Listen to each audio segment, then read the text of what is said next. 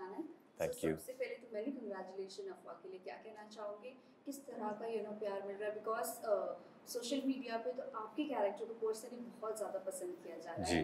आप क्या कहना चाहोगे? How much you are satisfied with your character I am very happy कि लोगों ने इस किरदार को इतना पसंद किया फ़िल्म को इतना पसंद किया। आ, ये थोड़ी सी एजी फ़िल्म है सटायर है हमारे वक्त के ऊपर।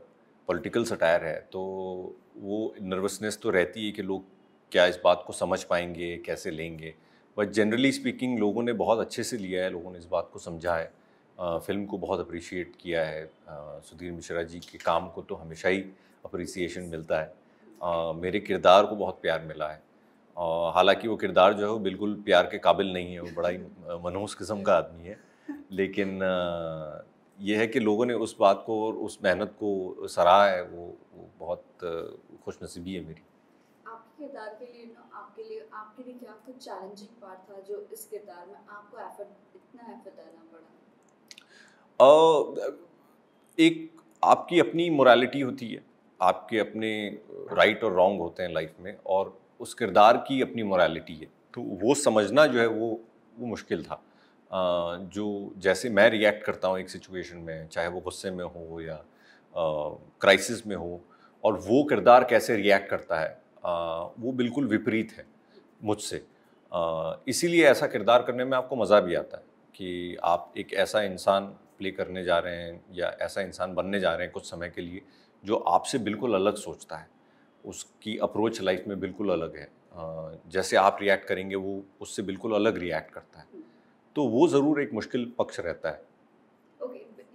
आपको अप्रोच किया गया कि आपको यू नो पॉलिटिशियन का कैरेक्टर प्ले करना है सबसे पहले दिमाग में क्या कुछ चल रहा था। क्योंकि कहीं ना कहीं काफ़ी फ़िल्मों में जो कैरेक्टर पॉलिटिशियन के होते हैं वो ज़्यादा सराहा नहीं जाते हैं प्यार नहीं किए जाते हैं या हम्म। कहीं ना कहीं ट्रोल किया जाता है। तो आपका क्या कुछ दिमाग में चल रहा था जब कैरेक्टर के बारे में बताया? मतलब मैं रिएक्शन के बारे में तो नहीं सोचता हूँ जब मैं करता हूँ कि लोग क्या सोचेंगे उसके बारे में। मुझे ये लगता है कि मैं पहले अपने ऑब्जर्वेशंस को इकट्ठा करता हूँ कि मैंने कितने इस किस्म के कैसे लोगों से मैं मिला हूँ कितने लोगों से मिला हूँ वो कैसे रिएक्ट करते हैं सिचुएशन में। अ, जो ए, एक वो लोग होते हैं जो पावरफुल लोग होते हैं जो चीज़ें करवा सकते हैं या जिनसे डर होता है लोगों को वो असल ज़िंदगी में कैसे होते हैं?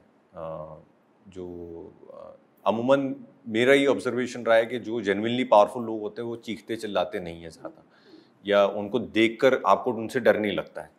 अ, और यही उनके लिए सबसे ज़्यादा डरावनी बात होती है कि आपको देख के कभी महसूस नहीं होगा कि वो क्या कर सकते हैं। अ, अ, तो वो वो लाना जो है ना वो थोड़ा मुश्किल काम होता है कि आप वो सारे ट्रोप्स यूज़ नहीं कर रहे हैं कि आपने चीख दिया या आपने गोली चला दी या आपने पीट दिया किसी को। और बावजूद इसके लोगों को आप आपके किरदार को लेकर लोगों के मन में एक डर रहे कि यार ये जाने क्या कर देगा। Because I think the fear is always fear of the unknown आपको जब पता नहीं होता है कि ये क्या कर सकता है उससे आपको डर लगता है। जब आपने किसी को देख लिया कुछ करते हुए तो आपको पता है कि ये ये करेगा। तो वो मेरी अप्रोच थी इस किरदार को लेकर। तो कहीं ना कहीं ये कह सकते हैं चैलेंजिंग पार्ट रहा होगा क्योंकि उस तरह ढलना जी। और वैसे रहना। जी और थैंकफुली हम जोधपुर में शूट कर रहे थे और मेरा अपना शहर है वो। बहुत समय बाद वहाँ गया था पर एक महीना जो है मैं करीब करीब होटल में ही था मैं बाहर निकला नहीं ज़्यादा।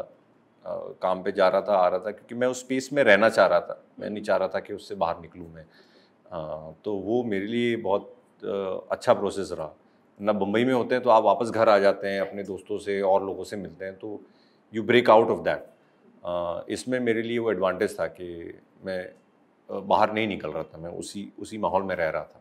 ओके बाद में शूट के बाद अपने होम टाउन में कहीं जाकर आपने यू नो घूमा फिरा कुछ किया कुछ मेमोरीज कलेक्ट किए?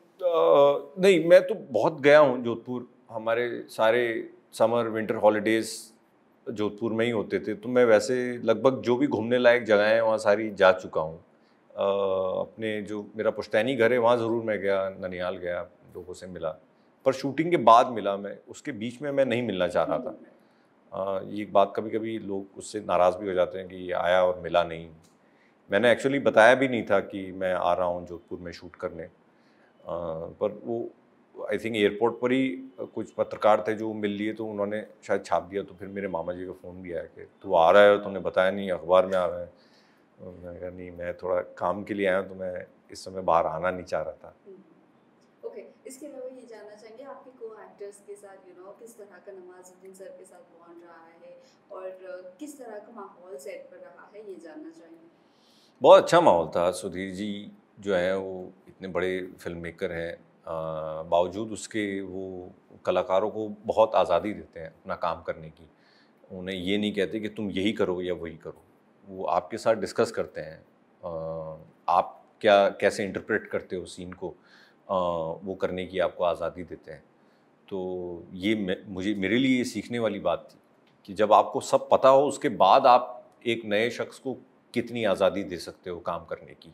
आपको ख़ुद को एक बहुत सिक्योर इंसान होना पड़ेगा ये करने के लिए। जेनविनली बड़ा होना पड़ेगा कि आप नए और यंग बच्चों को भी मौका दें कि वो अपने तरीके से काम कर पाएँ। तो बहुत ही एनरिचिंग एक्सपीरियंस रहा मेरे लिए। इनफैक्ट मैंने उस दिन सुधीर सर को मिला तो मैंने ये कहा कि मैं आपने बिगाड़ दिया हमको। अब हम सब जगह जो है ना ऐसा ही अनुभव ढूंढ रहे हैं। बहुत अच्छा अनुभव रहा। आ, मेरे उनके साथ बहुत ज़्यादा सीन है नहीं असल में क्योंकि उनकी और मेरी कहानी जो है वो करीब करीब पैरेलल चल रही है। आ, वो भाग रहे हैं और मैं उन्हें चेस कर रहा हूँ। पूरी फ़िल्म करीब करीब यही है। तो पर शूटिंग के दौरान मैं उनसे मिला होटल में भी मिला हमने बातें की बहुत अच्छा लगा। इतने क्या कह सकते हैं इतने हम्बल हैं वो। आ, बिल्कुल उनसे मिल के आपको लगेगा नहीं कि ये कोई बहुत बड़ी हस्ती हैं जबकि वो हैं। और कोई इधर उधर की फजूल बातें नहीं की हमने सिनेमा को लेकर बातें की क्राफ्ट को लेकर बातें की। बहुत मज़ा आया उनके साथ। ओके सुनिए ये जानना चाहेंगे आपने ये डिफरेंट डिफरेंट प्लेटफॉर्म को एक्सप्लोर किया है। टीवी हो वेब सीरीज़ हो बॉलीवुड हो। आपके लिए बेहतरीन अगर प्लेटफॉर्म की अगर बात करें, जहाँ पर फुल ऑन फ्री फ्रीडम हो, वो कौन सा रहा? असल में वो प्लेटफॉर्म नहीं होता, वो होता है वो डायरेक्टर या वो प्रोजेक्ट जहाँ पर आप अपने तरीके से काम कर पाओ या या आपको वो मौका मिले, वैसी स्क्रिप्ट मिले, वैसा रोल मिले या वैसे लोग मिले कि जिनके साथ आप जम के अपने हिसाब क्या कह सकते हैं लाइक माइंडेड पीपल आपको मिले। क्योंकि प्रोसेस तो लगभग सेम ही है। वही कैमरा यूज़ होता है, वही ट्रॉली यूज़ होती है, वही लाइटें यूज़ होती हैं सब जगह। एक्टर का भी प्रोसेस करीब करीब वही होता है। ऐसा नहीं कि वेब सीरीज़ में मैं ज़्यादा अच्छी एक्टिंग करूँगा, फ़िल्मों में कम करूँगा, मैं सब जगह ही अच्छी करने की कोशिश करता हूँ। तो वो जो है, वो तो रिज़ल्ट है कि किस माध्यम पर वो चीज़ रिलीज़ हो रही है, चाहे वो ओ पे हो रही है या सिनेमा घर में हो रही है रिलीज़ तो हमारे लिए तो हम वो लोग ढूंढते हैं या वो कहानियाँ ढूंढते हैं वो डायरेक्टर ढूंढते हैं जिनके साथ हमको करके मज़ा आए। किरदार की अगर बात करूँ इतने सारे आपने किरदार किए अभी ऐसा कौन सा किरदार है जो आपको करना है आपकी विश लिस्ट में अभी पेंडिंग पड़ा हुआ है? अभी मेरा मन है एक एक्शन किरदार करने का। हालाँकि मेरा शरीर उस तरीके का है नहीं तो इस साल मैंने खुद को दिया है कि यही एक चीज़ ट्रांसफॉर्म करनी बाकी है तो I will transform myself and hopefully do an action role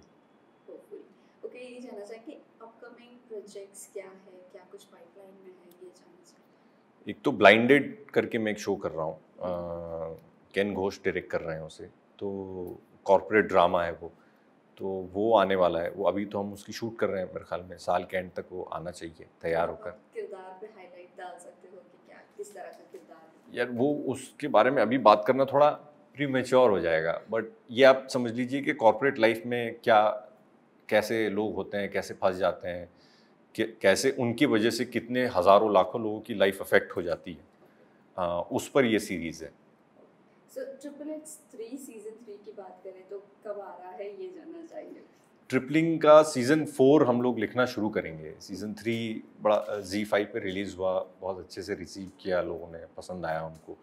तो अब ये शूटिंग ख़त्म होने के बाद उसकी राइटिंग शुरू करेंगे ट्रिपलिंग फोर की। So, अभी टाइम है मतलब इस चीज़ अभी टाइम है साल के अंत तक मेरे ख्याल में चीज़ तैयार हो जानी चाहिए। ओके लास्टली जाते जाते फैंस एंड व्यूवर्स को क्या कहना चाहोगे?